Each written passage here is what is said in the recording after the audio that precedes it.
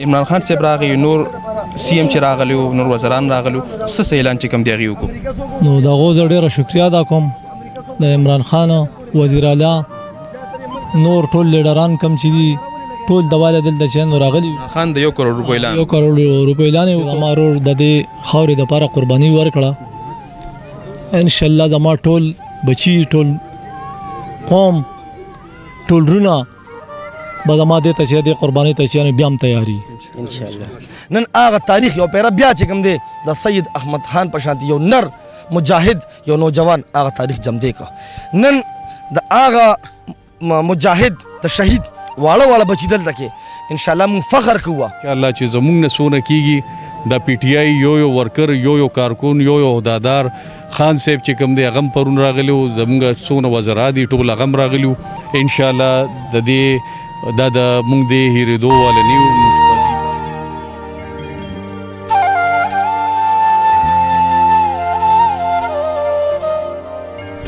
قدرمن کتونکو څنګه چې تاسو پرونی خبرونه کتلې و چې د سید احمد جان رور محبوب جان چې کم دی دا غسر مون خبره ترې کړې وي او ټول حال اول چې کم دی مون تاسو وړاندې خيو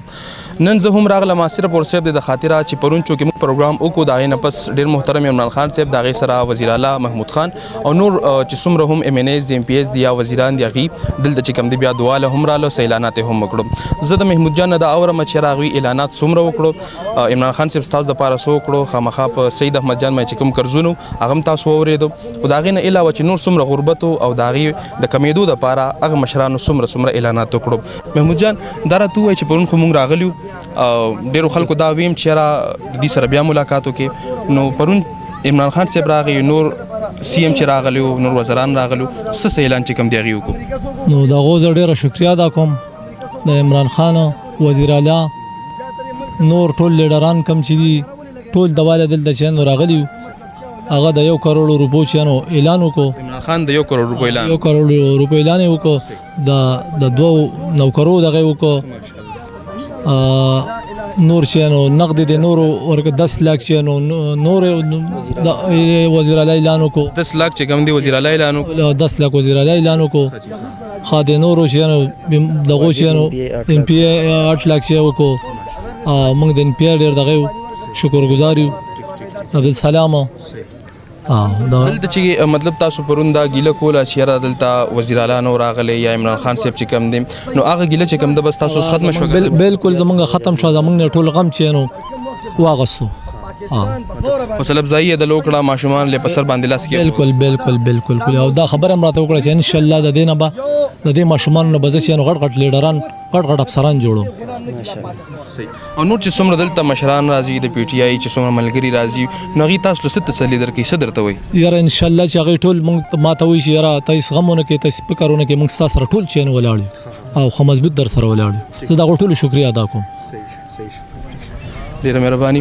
قدرمن لوګتونکو نمبر ته ریکارډ کوم تاسو غوښتنه دغه وا چې اردوینه نمبر ریکارډ کې کو سوګ هم ډونیشن کول غواړي سکرین باندې بددي نمبر چلیږي تاسو ډایرکټ دي سره رابطه کوئ او څه ډونیشن وي دي ته ډایرکټ چې کوم تاسو را لېګل شي تاسو د موبایل نمبر وایي تاسو 0348442221 0348442221 قدرمنو کتونکو دغه نمبر دی په سکرین باندې چلیږي تاسو ته تاسو کوشش وکړئ څومره هم ډونیشن کول غواړئ ځکه یتیمان دي بچی دي واړه دي نو دوی سره تاسو هم څومره ودرې دي شي نو تاسو دوی سره ودرېږئ ځکه چې دا ډیر زیات ژوند چې کم دي دا پاتري د دوی تعلیمونه دي دا غي سر چې کم دي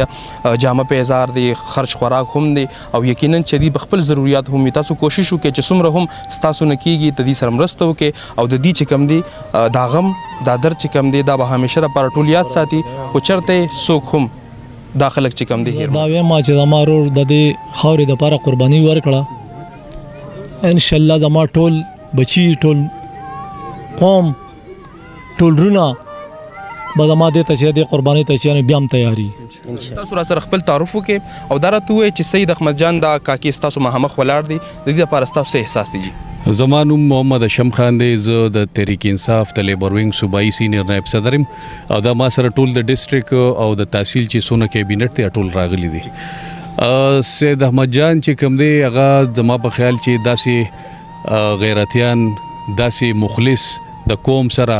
د ولس سره د وطن سره داسی ډیر کم په دی سیمه پیدا کیږي هغه چې کومه قربانی ورکړه دا د نه هیریدو واله ده دا مونږ نه هیرولی شو دا د یو یو د پی ټی آی د دی وطن د ازادۍ د حقیقی ازادۍ د پاره چې کومه قربانی ورکړه زما په خیال چې داسی قربانی ډیر خلک نشي ورکولی مونږ څونه مرګري یو انشاءالله دا قرباني به ټول عمر دا قوم یاد ساتي دا ماشومان چې دي دا داسې ګلونه دا زمونږ دغه خبره چې په مونږ فرض دي انشاءالله چې زمونږ نه څونه کیږي دا پی ټی آی یو یو ورکر یو یو کارکون یو یو عہدادار خان صاحب چې کوم دی غم پرون راغلی او زمونږ څونه وزرا دي ټول غم راغلی انشاءالله د دې دا د مونږ دی هیریدو واله نه یو مونږ په دی سره ان شاء الله ولاړ یو چونکه زه دی سره ډیر نږدې موسم نو دا لکه دا سدي چې زما بچی دي زما کشران دي مونږ به دي ان شاء الله چې دینو په هر موقع باندې الله دې په دې نور سخت نه را هغه تاریخ یو پیرا بیا چې کوم دی د سید احمد خان په شان یو نر مجاهد یو نوجوان هغه تاریخ جمع دی کو ان شاء الله تعالی د اغیدا وینا د دینه په زرګونو سید احمد خان سید احمد جان دا پیدا کیږي او هغه به د خپل وینې هغه هغه کم قدر چره هغه به د خپل پاکي خورې د لپاره هغه ان شاء الله غي استعمالي نن د هغه مجاهد د شهید واړه واړه بچی دلته کې ان شاء الله مون فخر کوو تاسو داسې مو وای چې د دې بچو لپاره څه احساسات دي د دې بچي د پر هر یو محب وطن پاکستانی چې د چا په زړه کې د دې قوم سره د دې د خپل خور سره مینه ده محبت ته جذبه ده غیرت کې په خپل خوره ابا په خپل بچو باندې خپل ځانونو قرباني دا زمونږ بچی دي دا یتیمانان نه دي دې ته هیڅ چره یتیم نشي دا زمونږ بچی دي دا زمونږ فخر دی مونږ به همیشه د پاره یو په یو وخت ګوره د ظلم خلاف د ظلم خلاف حضرت امام حسین رضی الله تعالی عنه ته واړه واړه بچی را بار کړه واړه واړه بچی شهیدان کړه په نن وخت کې یزیدان مسلط شوی دي په نن وخت کې یزیدان مسلط شوی دا غي د پاره چې کوم دي غازیان نوتی مجاهدین نوتی دي په یو وخت کې یو ابو جهل د وخت هغه مسلط شوی په دې پاک خور باندې وړو وړو غازیانو د 900 سال ماشومانو هغه مردار ک د نن وخت دا بچي دا به د دې وخت د د ابو جهل د فرعونانو د نمرودیانو د یزیدیانو خلاف دا جهاد سر ترسي ان شاء الله د پاکستانی قوم بچي بچي د خپل خور سره مینه کوي د پاکستانی قوم یو یو فرد محب وطن پاکستانی خور مور رور پلار زوی دا به د بچو سره مینه کوي ځکه چې دا زمونږ د لپاره فخر دی مونږ فخر کوو چې زمونږ د مردان د سیمې داسې ښکلي ښکلي شهدا د سید احمد جان په شانته هغه الله جل شانو دلته کې راخکاره کړ پاګه زموږ مردان وزریدا پاګه زموږ د واړه واړه ګلالي وزریدل نو ان شاء الله موږ به همیشه د خپل بچو سره لاړ یو ډیره مهرباني قدرمن کتونکو